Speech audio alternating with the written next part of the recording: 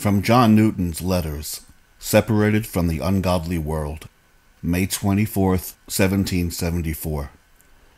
Dear Sir, what a mercy it is to be separated in spirit, conversation, and interest from the ungodly world, where all are alike by nature. But grace makes a happy and unspeakable difference. Believers were once under the same influence of that evil spirit who still works in the children of disobedience, each pursuing different paths, but all equally remote from truth and peace, some hatching cockatrice eggs, others weaving spiders' webs. These two general heads of evil and vanity include all the schemes, aims, and achievements of which man is capable until God is pleased to visit the heart with his grace. The busy part of mankind are employed in multiplying evils and miseries.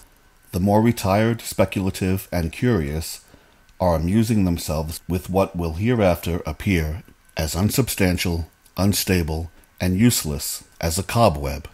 Death will soon sweep away all which the philosophers, the scientists, the mathematicians, the antiquarians, and other learned triflers are now weaving with so much self applauded address nor will the fine spun dresses in which the moralist and the self righteous clothe themselves be of more advantage to them, either for ornament or defense, than the web of a spider.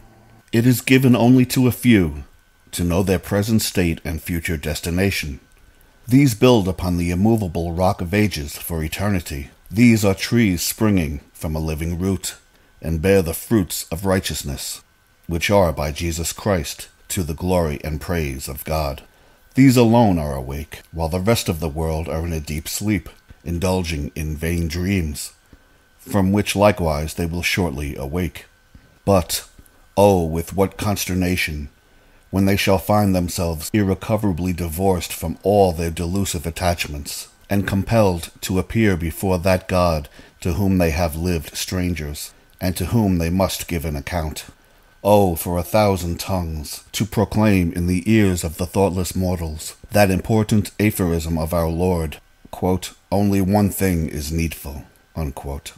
Yet a thousand tongues would be, and are, employed in vain, unless so far as the Lord is pleased to send the watchman's warning by the power and agency of his own Spirit. I think the poet tells us that Cassandra had the gift of truly foretelling future events, but she afterwards laid under a painful embarrassment that nobody would believe her words. Such, with respect to the bulk of their hearers, is the lot of gospel ministers. They are enlightened to see, and sent forth to declare, the dreadful consequences of sin. But, alas, how few believe their report. To illustrate our grief and disappointment, I sometimes suppose there was a dangerous river in the way of travelers, over which there is a bridge, which those who can be prevailed upon may pass with safety.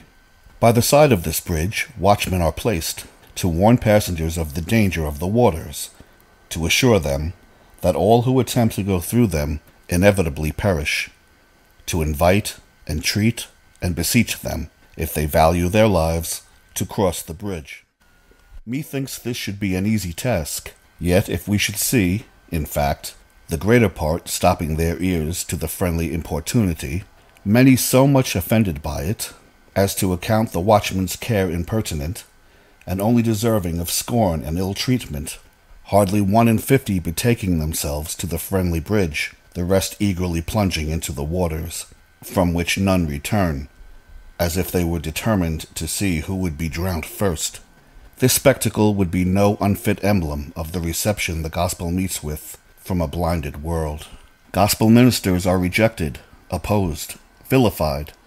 They are accounted troublers of the world, because they dare not, cannot stand silent, while sinners are perishing before their eyes. And if, in the course of many sermons, they can prevail but on one soul to take timely warning, and to seek Jesus, who is the way, the truth, and the life. They may account it a mercy and an honor, sufficient to overbalance all the labor and reproaches they are called to endure. From the most, they must expect no better reception than the Jews gave to Jeremiah, who told the prophet to his face, quote, As to the word you have spoken to us in the name of the Lord, we will not hearken to you at all, but we will certainly do whatever goes forth out of our own mouth. Unquote. Surely, if the Lord has given us any sense of the worth of our souls, any compassion towards them, this must be a painful exercise, and experience must teach us something of the meaning of Jeremiah's pathetic exclamation, quote, Oh, that my head were waters, and my eyes fountains of tears, that I might weep day and night, for the slain of the daughter of my people. Unquote. It is our duty to be thus affected. Our relief lies in the wisdom and sovereignty of God. He reveals his salvation to whom he pleases, for the most part to babes. From the bulk of the wise and the prudent, the gospel is hidden. Thus it has pleased him, and therefore it must be right.